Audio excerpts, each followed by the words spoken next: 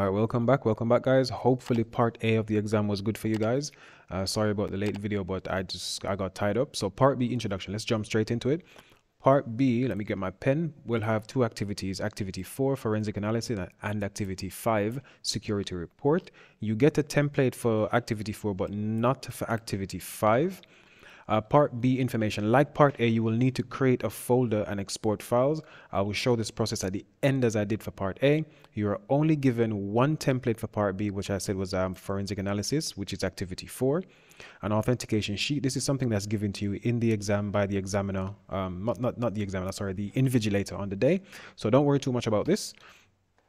Uh, mark info, marks information. So uh, there's a total of 37 marks for part B. Now this might have changed slightly, but it doesn't really matter.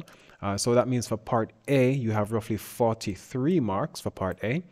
Uh, in part B, again, we have 14 marks for activity 4, 20 marks for activity 5, and you get 3 marks if you use the correct technical language. So make use of all of those terms that you learned servers, malware, hacker, white hat hacker, black hat, black hat hacker, gray hat hacker, all of those random special terms, not random, but all of those special terms you learned. Um, make use of them here. Don't just use very plain English because this is where you get to actually show what you know. Uh, part B information again you will be given a new scenario. This is an update from the previous task. For example, the company has now fully moved to the new location. And this is what they, I think I copied this from the exam paper. That's why it's in bold. Uh, you advised Baljinder Singh of BCTAA on security matters for the move to the new location. Now, a few weeks later, he has called you in to review the investigation of a cybersecurity incident. So, something has happened at his company, something went bad, and you are here to try and help. There has been a few incidents since last time we met Singh.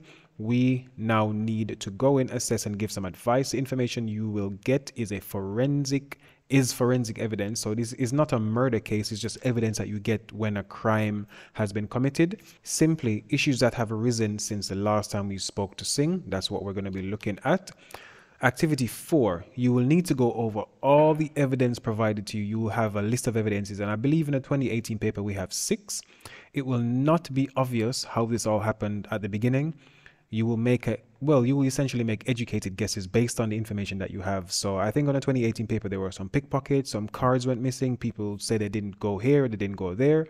So we can make some educated guesses. Um, there were multiple reports of people being pickpocketed. That's what I've just said. So people not using their cards, but their cards being used is most likely as a result of them being pickpocketed. Now, I haven't read everything yet, so let me keep going. I'm going to read all the evidences first and then make use of it. Uh, read the evidence and highlight or write down things you are well things you think are important I would do this four each piece of evidence, then bring it all together at the end. So, uh, activity for what to do, look over all the evidence. If you think that something is important, make some notes. I'm saying this again because it's going to come in very handy. Make some notes.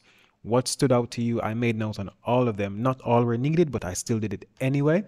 So for activity one, evidence, I said Singh's account of evidence. So that's the name of the um, piece of evidence, I think, or something very similar. Listed missing items. This is not often checked, meaning they only found out that some keyboards and mice were missing now because the phone and the laptop was missing. So maybe one thing that they should do is have a, a weekly or monthly check off of every item. So the phone was blocked, or they said they called the phone company to block it. The laptop was tracked, and I believe it was found in Nairobi, Kenya on the 9th of the 4th. Uh, no sensitive information on the file, so on the laptop itself, because they were only working on some fire extinguisher stuff. But there could be other pieces of information on the laptop um, that are sensitive. I didn't make notes on everything, so that's why I'm trying to give some context. Meeting with management company, so that's the EH company. Cleaners and other EH staff are unlikely to steal. I remember this because they said they get paid quite well EH makes sure is that they pay them better than companies in the surrounding area to make sure that people are loyal, people don't normally leave, people are typically happy, you get paid more, you're happy with your job, everything's good. Pickpockets were on the roam on Friday. So on the bank holiday Friday, there were pickpockets because other people mentioned that um, they've had stuff stolen or they were pickpockets about.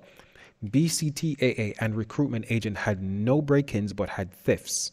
So things were stolen, but there was no evidence that anyone broke a door, kicked a door in, broke a window. There was no evidence of a break in, but stuff was still missing. Phantom charges on people's cards, not system error. Now, I read a bit more into this, and phantom cards mean that somebody was probably going around with one of those devices that you can simply wave over a bank card and it will charge you. So, just a contactless payment machine to be fair. This could be used for quite a few reasons. This could be used to clone your card in some cases. This could be also be used to clone the ID card because if you go and look at the 2018 paper again, I didn't want to read the whole thing because it was very, very long. If you look at it, um, the card that they have to open the doors, you actually don't need to tap it on the door physically to um, touch each other. Once you wave the card in the general direction, I think they said roughly like 10 centimeters or something like that, so more or less the same as a contactless bank card, the same as your iPhone or Android phone, which you use to pay for stuff. It's more or less a similar system. So they might have found a sophisticated way to clone um, either the bank cards, because people had phantom charges, or they could have found a way to clone the access entry card thing that people use. Um, evidence three was, was this not three? No, this is three. Door access control system log. So these are the four log numbers that came up as they shouldn't have been here at that time. Some of them said that they don't remember using the card at that time. Some of them said they definitely did not use the card at that time. So this could have most likely been how people got into the system all people reported not remembering using the card or not using the card at all. Now, I don't remember, but from my reading, no one said that their card was actually missing. And that would have been very, very important. So, yes, there were pickpockets about, but at the same time, nobody's card was missing. So, these people still had their cards, as far as I'm aware activity four evidence 4 network diagram is the same as before. No visible updates present. I didn't notice any but you guys might. So please go to the um, the link in the description and try and download the the 2018 past paper. I'm giving you the 2018 past paper because that's the only one that i found that that did not have the padlock on there. So that one should be available to the public laptop tracking software detected the laptop in Nairobi, Kenya when connected to a network. So when the laptop connected to a network, they did this track my device thing or locate my device. Same thing we have in our iPhones and Android phones. They have it on Windows 10 and Windows 11 as well. So they tracked it on the date was the 9th of the 4th, 2018, and the time was 11:22 a.m. in the morning, I'm guessing. And it was found or it was detected in Nairobi, Kenya, very, very far away from the UK. But hey, um, evidence six cybersecurity documentation details what people do in the event of theft of IT equipment, theft of data, infection of company IT systems with malware, unauthorized access to BCTAA systems. So this is kind of like their their policy on what to do if something goes bad. That's essentially what this is. So what do you actually do for activity 4? Well, this is where we go. You need to think about all well, look over all the evidence, the brief and the scenario, putting together everything that you think happened. So, again, educated guess from my point of view, I don't think these people were robbed in terms of their pockets were picked because it would have been noted in the evidences that, oh, my card was missing, oh, that must have been how someone got in. None of them reported that. So, I'm going to make the assumption or, or the educated guess in this instance that um, people were able to go around with a machine tap it on people's chest or the back pocket or front pockets or handbags. And this is how they managed to actually get access to people's cards. They didn't actually have physical access, as in they took it out their bags, but they cloned the cards. And cloning the cards means that they could write the, those same numbers onto a different card and have access in just the same way. So I believe they said it was like a 10 digit number. So once you can detect and read that 10 digit number, you can write it onto another card if you have a card writer. And that's it. That's how I think they got in. Um, this is the piece of evidence, not sorry, this is the template, my apologies, you get for activity four. This is given to you, so you can make use of this. What I would do, I think I have it on the next slide, I would make a copy of this roughly five more times because in my case, I only have six pieces of evidence. In your case, you might have seven, you might have eight, you might have 10. However much you have, you copy it that amount of times. I already had it once, so that's why I'm going to copy it five more times. So let me explain what that means again. So the template will have five headings, evidence item, method of acquiring evidence, evidence detail, evidence reliability, and the conclusion. I'm just going to quickly go over what each of these mean because I don't believe I did it on the next slide. No. Evidence item. So I would simply label it like evidence one, um, evidence item one, and give the label that was given on the exam paper. And in this instance, I believe was Balgin Series of events or Baljinder Singh's um, events of a account of events, whatever it is, just label it as that. That's going to be for evidence item. For method of acquiring evidence, this is a bit different, but nothing crazy. Just say, for example, I think one of the other evidences was a meeting with the EH company. Just say interview was held and these people were involved and we managed to take statements from each person. That's it. So say how you actually got the evidence. Baljinder Singh would have given you a report. So let's say we're using the first one, um, which was his report. Method of acquiring evidence, Baljinder Singh um, remembered everything. He gave us an account of events or however you say that term, he made note of everything that he remembered, and that was his um, evidence. Evidence detail. This is where you go a bit more into detail about your understanding of what the evidence is saying. You try to draw some information out of it. So Baljinder Singh, let me go back to his notes. This is why I made notes on it so I can keep going back and forth. So he said um, he listed the missing items below. Uh, and he mentioned the laptop, the phone, three keyboards, two mice, whatever else was missing. And he stated that they don't actually know when the the um, the keyboards and mice were taken because they don't check these things very often. So that could have gone missing at some completely different time. It would make sense for someone to break into an office, see a fully fledged PC that's worth hundreds of pounds, and steal the cheapest thing attached to the PC, which is a mouse and a keyboard. I can buy a mouse on eBay for ten pounds or five pounds I can buy a keyboard on eBay for 10, 15 pounds as well. So steal something that costs 25 pounds versus something that costs maybe four or 500 pounds doesn't really make sense. It would make sense for them to steal the entire PC.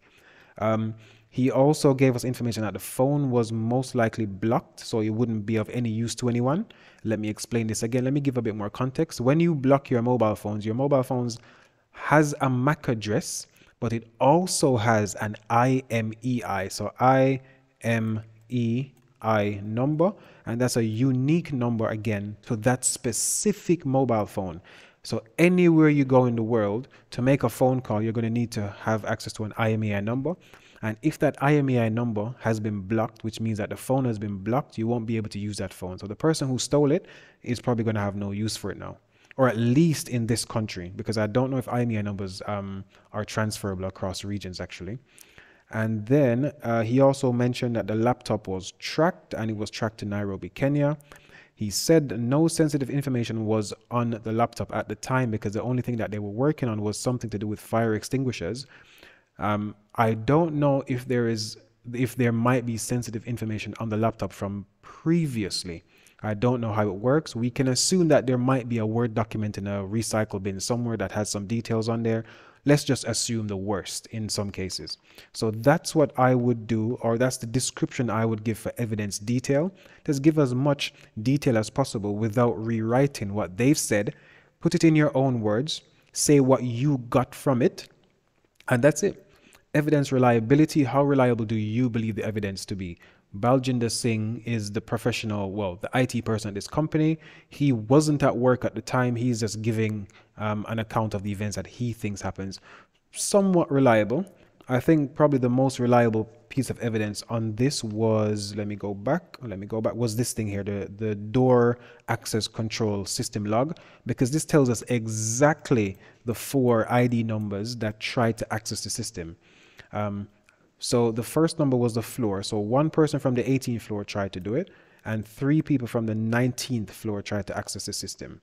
Right. So this is probably the most concrete piece of evidence that we have because there's no way, or it's very unlikely, that the person who broke into the system would be able to change this information as well. So for some of them, it's going to be medium reliability, low reliability. But don't worry, I'll I'll go over everything and I'll explain once I get to the template. And conclusion the conclusion part is not the conclusion for every single thing for activity four. It's only the conclusion for this thing. So you, again, going through all of this, getting your evidence, you try to conclude what you think the evidence is telling you. So the, so the evidence tries to tell you, okay, well, um, pe- people seem to have um, phantom payments on their cards. Nobody said that their card was stolen. So maybe for this one piece of evidence, for evidence number, I think it was, let's just say evidence number four, I think this is what happened. You try to conclude. Anywho, uh, evidence for template explained. you make use of all the headings for each piece of evidence. 2018 had six pieces of evidence or six pieces of evidence. Copy and paste the headings five more times because I have six. I'm going to copy and paste five more times, but you're not done yet. The last thing you have to do is to do another conclusion. What does that mean? After you fill in the table for each piece of evidence, you still need to conclude overall. So outside of the table, so let's just say that's my um, my table for evidence number one, fully finished all the points I mentioned earlier. Table number two, table number three, table number four, table number five, table number six. And the very last thing I do outside of the tables is do a conclusion for everything. And the conclusion is, is going to essentially write up, try to paint a picture of what I think took place. Um, you should add how how and why you think it happened. So, how do you think the break in happened, and maybe why you think it happened, given context as well. So, maybe I would maybe say something along the lines of um, it's a bank holiday. People are going to be drinking in the restaurant and, and, and the bar. People aren't as aware when they're drunk or tipsy. Um, the pickpockets or the thieves or the infiltrators or the attackers took advantage of this. They went around with a cloning device um, cloning people's cards. They cloned bare minimum four cards that we know of. When they tried to use the person's card from the 18th floor, they were not allowed in because clearly that person didn't have 24 hour access. Eventually, they tried two more cards, those didn't work as well. And finally, they got to a senior manager's card. But because that person is a senior manager, they had 24 hour access. And because they had 24 hour access to all areas, they were um, eventually let in once let in, they were able to go around and start stealing stuff. So that's how I maybe would start doing my conclusion. In any case, hopefully that was useful. I'm going to now show how to do activity four.